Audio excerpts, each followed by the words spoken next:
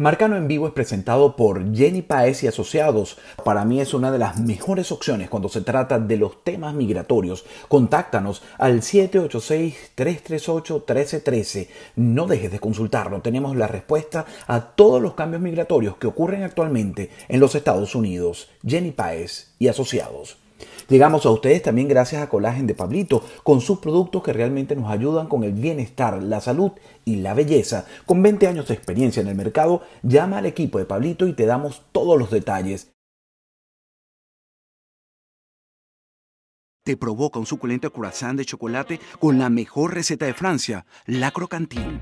Ha buscado una pastelería que se convierta en tu lugar favorito, La Crocantin. La Crocantin tiene la mejor repostería del Doral y exquisitos platillos de comida francesa hecha por reconocidos chefs de Francia. La Crocantin está muy cerca de ti. Estamos en la 7930 Northwest, en la calle 36 del Doral. Nunca olvidarás nuestro nombre. Somos definitivamente La Crocantin.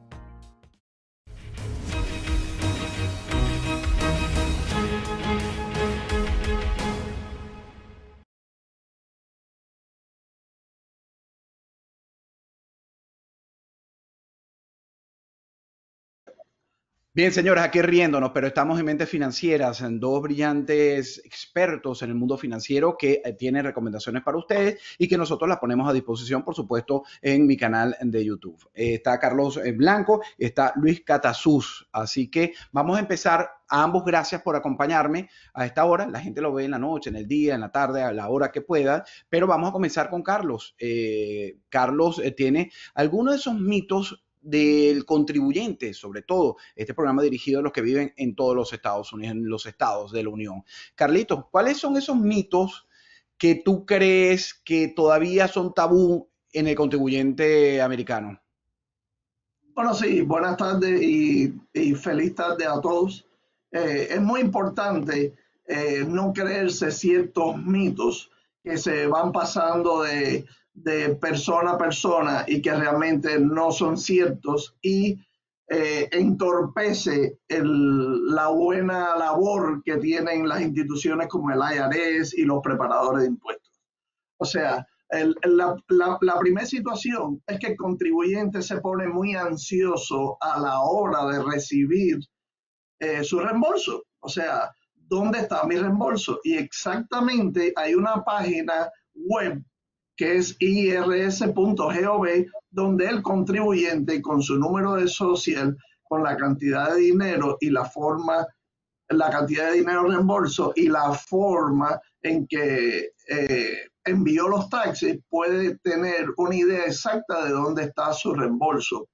Y eh, vuelvo y le digo, es en el irs.gov y Where is my refund en inglés y en español es dónde está mi reembolso. Y ahí le va a decir exactamente si está en proceso, qué día se lo van a poner. O sea, muchas personas piensan que pidiendo una, una, haciendo una llamada a la IRS, hablando con un profesional de impuestos o eh, revisando cada cinco minutos uh, sus uh, refunds o su, su eh, su dinero de reembolso, eh, va a acelerar este proceso. O pidiendo transcripciones. Eso no va a pasar.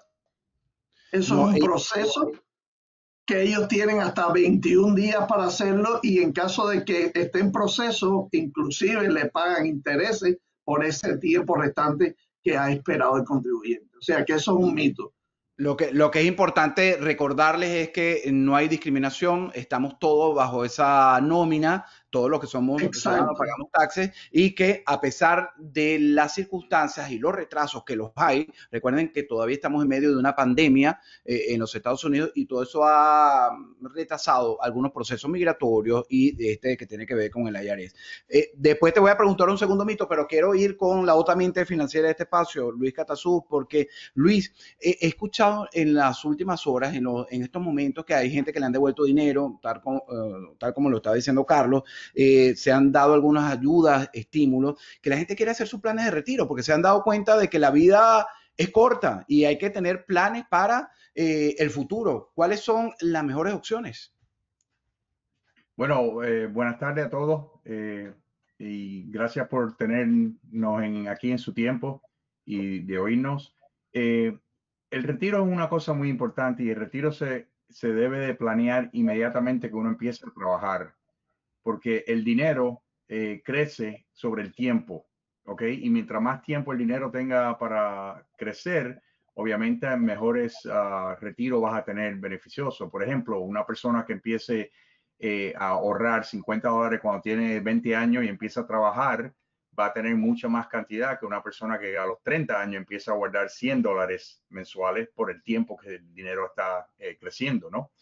Pero hoy día uno de los vehículos que, que están disponibles para todos nosotros eh, en este país es, hay dos uno es el que se llama el AIRA, que le dicen Individual Retirement Account, en inglés se llama, y es un programa en la cual uno puede personalmente guardar para su retiro. Eh, tiene unas limitaciones hoy día de 6.500 dólares anuales por personas eh, y es alguna forma que uno puede guardar dinero antes de pagar impuestos en ese dinero. Quiere decir que esos 6.500 dólares que uno guardara ah, en, en, su cuenta no le tiene que pagar taxes hoy día. Los taxes se pagarán el día de mañana cuando ese dinero se saque de la cuenta de retiro. Eh, una forma que uno puede individualmente contribuir y en esos retiros en el IRA tiene dos opciones.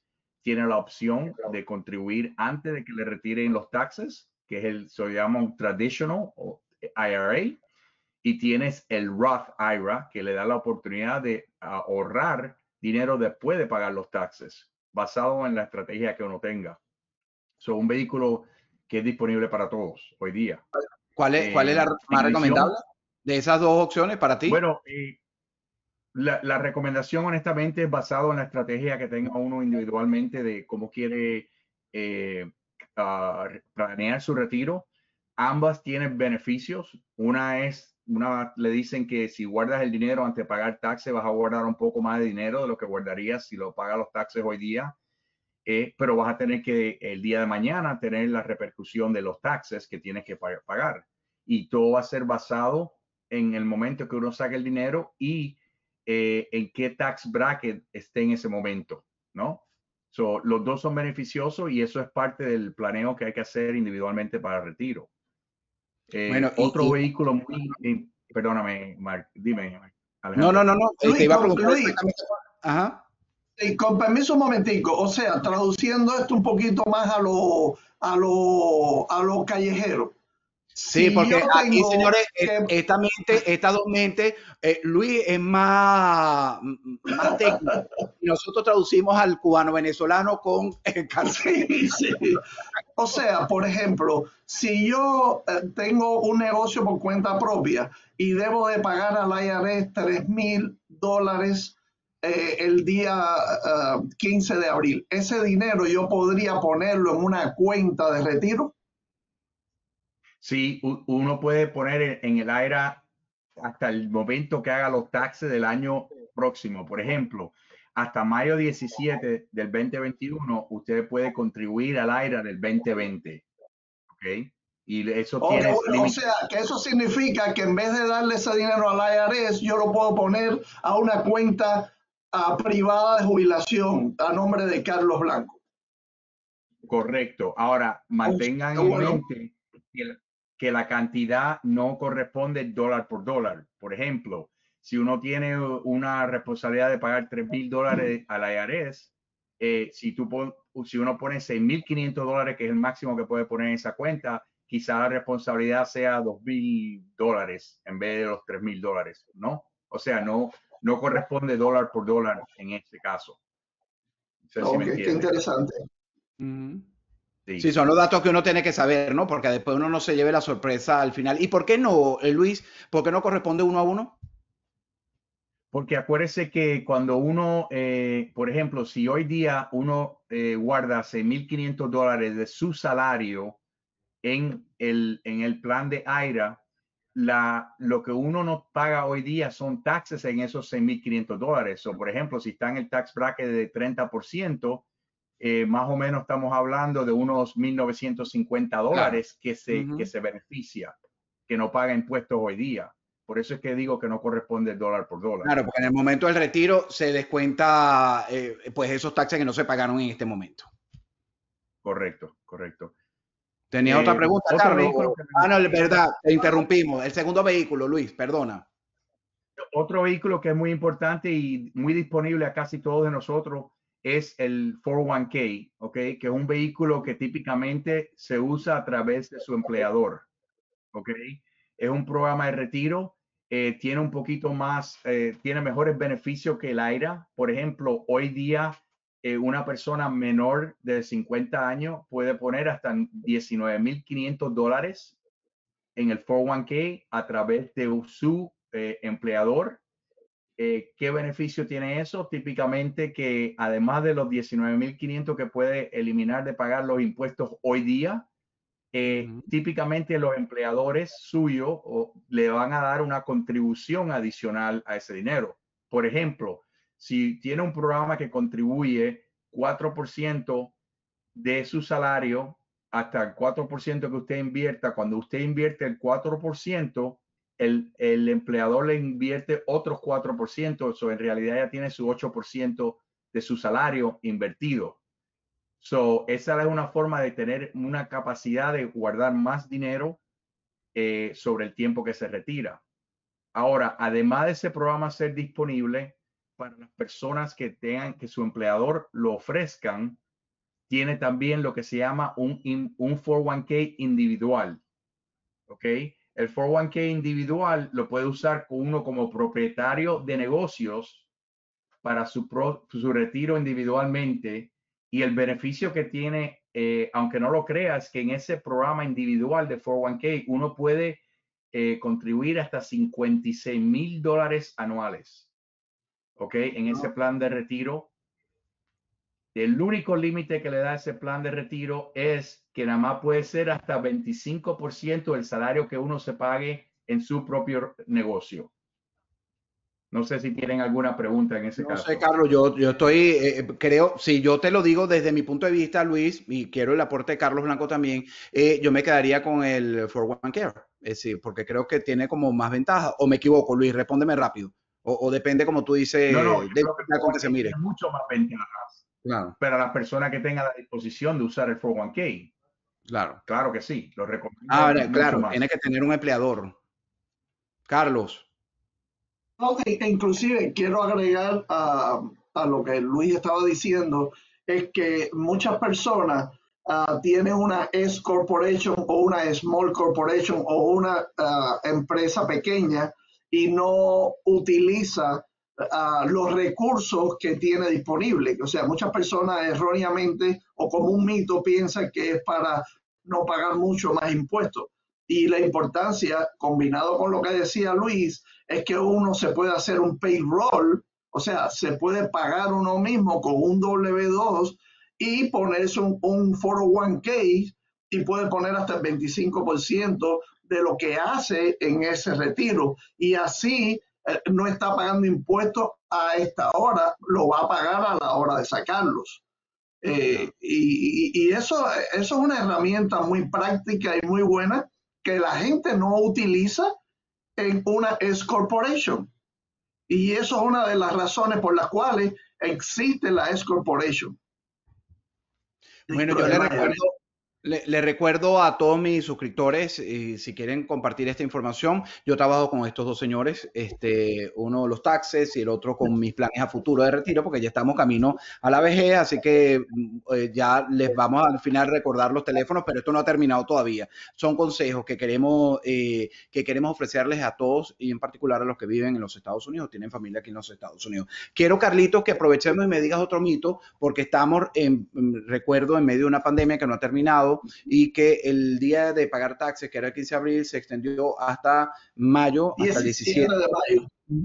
Eh, entonces, eh, muchas dudas a veces se tienen y uno, yo siempre digo, eh, esta gente, cuando uno necesita un asesor financiero, un buen abogado y un, de inmigración y un buen abogado legal, uno tiene que buscar a los mejores y estos están catalogados y ustedes los pueden buscar, los pueden buscar incluso en los libros, porque aquí todos los registros son públicos. ¿Cuál es el otro mito que tenemos, sobre todo los latinos que tenemos a veces tantas dudas? Sí, tenemos el mito de cuando hacemos una extensión, porque no estamos listos, porque nos falta un documento, hacemos una extensión hasta septiembre 15.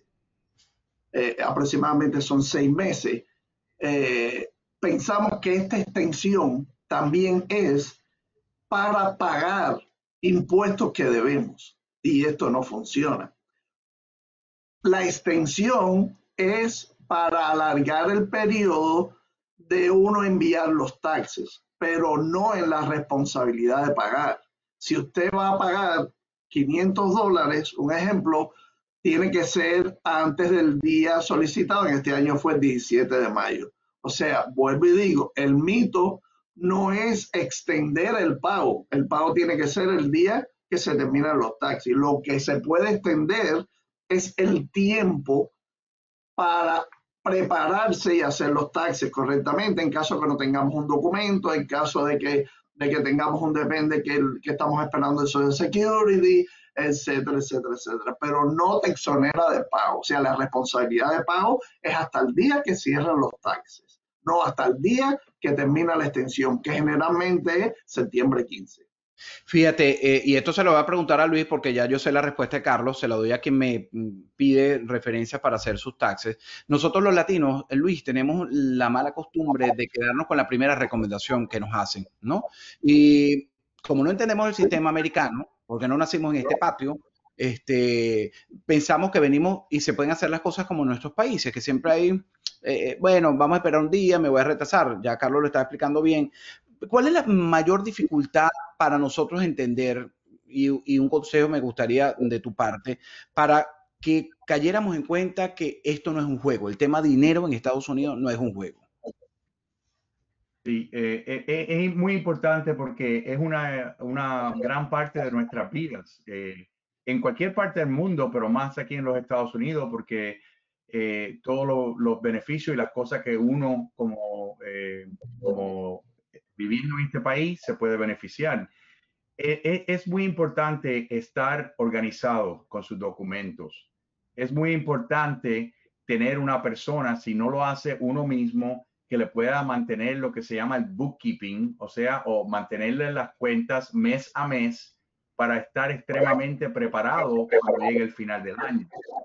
Uno no quiere llegar al momento de hacer los taxes y empezar a buscar documentos o o eh, qué es lo que sea necesario, es mucho más importante estar preparándose para los taxes. Por ejemplo, los taxes del 2021 que se van a hacer el año que viene, uno debe estar haberlo preparado desde enero de este año, haciendo sus cuentas bancarias mensualmente, eh, teniendo diferentes apoyos a través de gente como, como el negocio como que hace Carlos y que hacemos nosotros, que le puedan mantener la contabilidad constante para uno entender. Acuérdese, nuestra vida personal hay que manejarla como un negocio para que al fin de año haya ganancia. Quiere decir que gastemos menos de lo que nosotros recogemos, ¿no? Eso es importante. eso es muy importante, inclusive para el que no tiene negocios. El que no tiene negocios trabaja con un W2 y en el IRS.gov hay una herramienta para que nos diga exactamente cuánto debe de retener de impuestos la persona que nos paga. Si usted ve que estamos en mayo y le están recaudando pocos impuestos, significa que va a tener que devolver dinero a principios del próximo año, porque usted está viendo que no le están eh, reteniendo impuestos. Usted ya va, por ejemplo, por 15 mil dólares y le está reteniendo 600, 700 dólares, vaya al contador, pídale una forma que es la W4, que es la que dice su estatus y la cantidad de dinero que debe retenerle la persona que le paga, para que no tenga sorpresas a principios del próximo año. Esto es muy importante porque después presionan a los preparadores oh, pero y me devuelven esto solamente, claro, no le han quitado en el resto del año, usted debe devolver. O le quitaron el resto del año, usted va a recibir reembolso. Eso es muy importante, prepararse. Siempre uno tiene que estar preparado en estas cosas para que no haya sorpresa. Así es. Bueno, eh, la semana que viene tenemos mucho más, con el favor de Dios. Eh, quiero que me den su teléfono, Luis, ¿dónde te contactan? A ti y después Carlos. Bueno, sí, aquí con mucho gusto estamos en el 305-338-7567 aquí estamos a su disposición. Y Carlos Blanco. me pueden llamar al 786-709-2013. Esos son los teléfonos que, eh, donde pueden localizar a Carlos Blanco y a Luz Catasuz. Esta mente financiera y este servidor se despiden hasta la próxima semana. Eh, son consejos que les estamos dando, sobre todo hay que pensar en el futuro, hay que pensar en el presente, hay que pensar en nuestro dinero, cómo rendirlo, cómo estirarlo y cómo usarlo. Y para eso están ellos dos aquí. Gracias Luis, gracias Carlos. Bueno, muchísimas gracias, a la audiencia.